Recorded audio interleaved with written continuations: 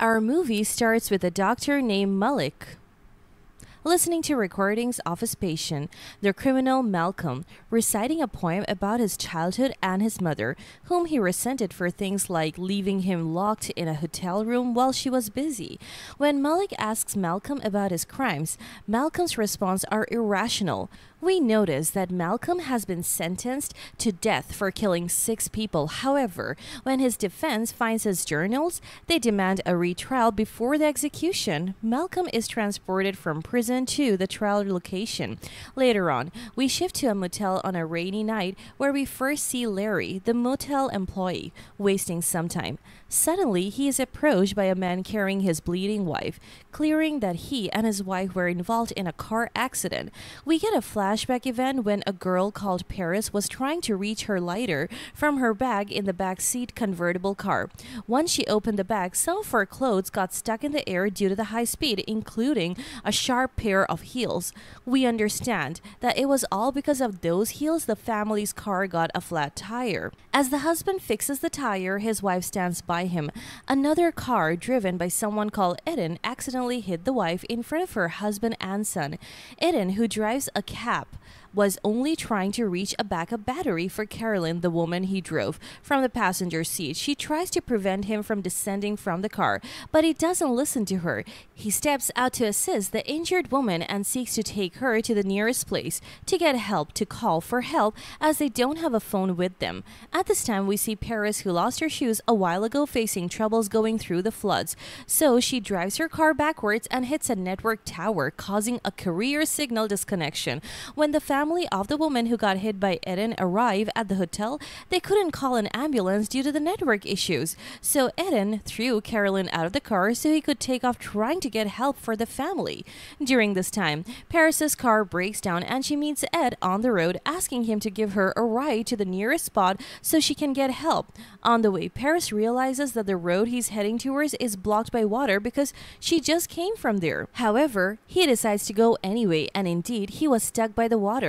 They ask for help from the first car they saw on the way to take them back to the motel and when Ginny and her boyfriend Lou agreed to take them, Ed got back to his car to pick up his things including his gun and they all rode together to the motel. When Larry, the motel guy, sees Paris, he gives her some attitude and refuses to rent her a room because he thinks she's a prostitute. At this time, Ed goes to room 4 to check on the wife's condition and Paris takes room 7 while Ginny and Lou take room 6. At this point, George, the husband, realizes they'll be spending the night at the hotel due to the weather.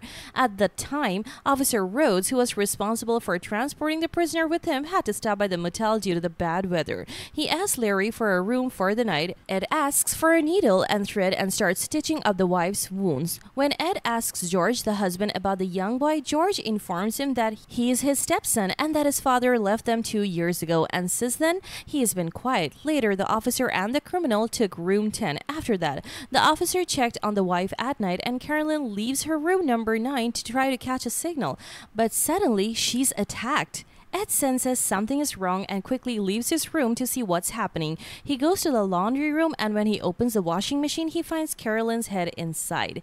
At this time, Rhodes and Larry enter the laundry room shocked by the sight. Next to the head, they find the key to room 10, which is Rhodes' room. Then Ed asks Rhodes about the prisoner. When they go to check on him, they find that he broke the pipe, he was cuffed too, and escaped through the window.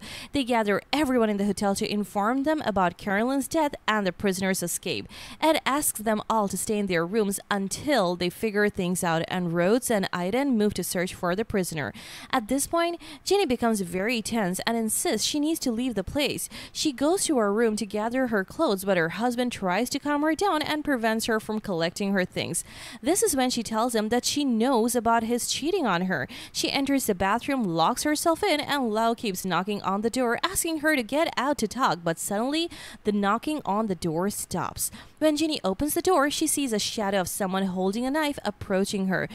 She tries to lock the door before he opens it and she manages to do so before escaping through the window. She runs into Detective Rhodes outside, followed by everyone. When they enter the room, they find Lou dead. Meanwhile, the criminal tries to escape and hides in the storage room, but Rhodes and Ed catch him and hold him in the storage room. They ask Larry to guard the criminal while Paris takes care of Ginny until they try the radio again. Paris goes to gather her things from her room, and Ed follows her, revealing that he used to be a cop, but he quit because he was tired of it. He takes a camera and goes to film Lou, finding a key with the number 9 on it right next to him, realizing the criminal is on a countdown. Then they see Larry leaving the storage room saying he went to get something. When Rhodes enters to check on the criminal, he discovers him beaten with a baseball bat that Larry had, and next to him is a key to room 8. They also find Carolyn's purse with Larry, but he denies killing anyone and threatens to kill Paris. However, Paris fights back, causing Larry to stumble and fall into the fridge, where he finds a frozen body. Then, Larry takes his car and speeds off with the child standing in front of it. George rushes to save the child, but he ends up dying. In the present time, the judge was listening to Malcolm's defense. Malick was in the session. They present evidence of Malcolm's schizophrenia, citing his varied writing styles in his journals. Dr. Malcolm explains that there is no cure for his condition and that the patient may not even be aware of committing crimes.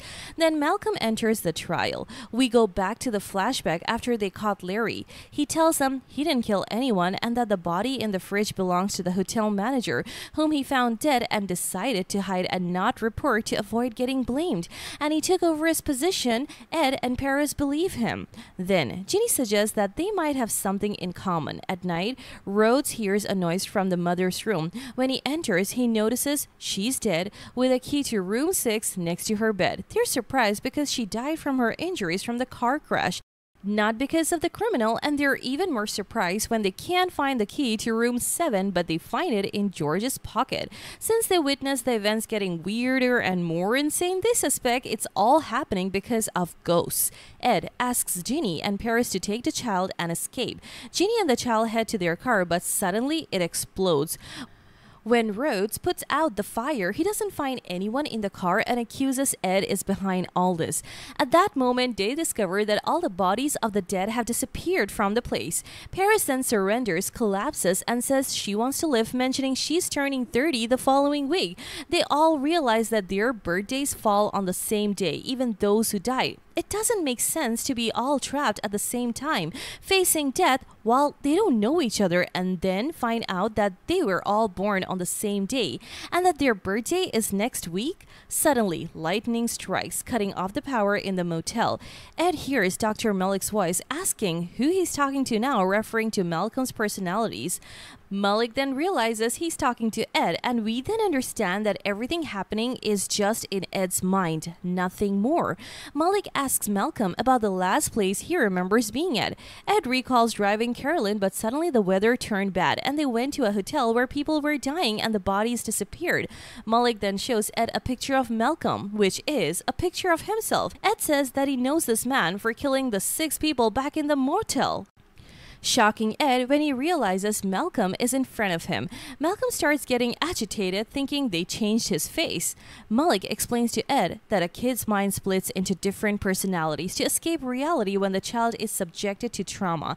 This happened to Malcolm with one of the remaining personalities being Ed. Ed thinks Malick was joking with him. Then Malcolm hands him a mirror and Ed is shocked to see Malcolm in front of him.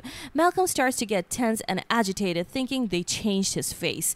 Malcolm Malcolm tells Ed that these personalities exist only in his mind, and the proof is that they were all born on the same day. He also explains that due to the treatment he's undergoing, he's forced to confront all his personalities at once, and those who died in his mind won't reappear. With only one personality left of them, and it's the one who committed those crimes, they need to figure out which one it was to get him off the electric chair, the death sentence. Malcolm then returns to Ed's personality in the hotel, and Paris goes to Rhodes' car to look for a flashlight. There she notices that the radio wires were cut and finds a note indicating that Rhodes is a criminal. They find out he killed a real cop and put him in the car trunk. Then Paris runs to inform Ed, but she is shocked by Rhodes coming towards her. Just before he kills her, Larry appears from behind and hits Rhodes with a fire extinguisher, knocking him out.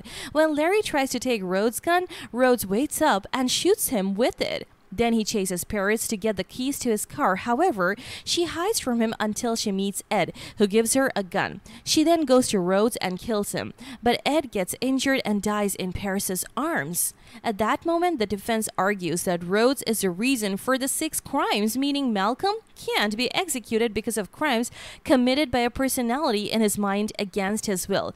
The judge rules that Malcolm be transferred to a mental institution to continue his treatment. Paris remains the only one in Malcolm's mind. She buys a house and land as she wishes and suddenly finds a key behind her. Behind her, she finds a child who disappeared from the motel. It turns out he was the one behind all the crimes that happened. He was the first personality in Malcolm's mind since childhood. That child personality takes over Malcolm's consciousness, making him attack Malick and kill him, and then he escapes. And that's it. If you like this recap, hit like, share, and subscribe to our channel to keep seeing content like this one. If you have any requests or thoughts, drop them below in the comment section, and we will see you at the next one. Peace out.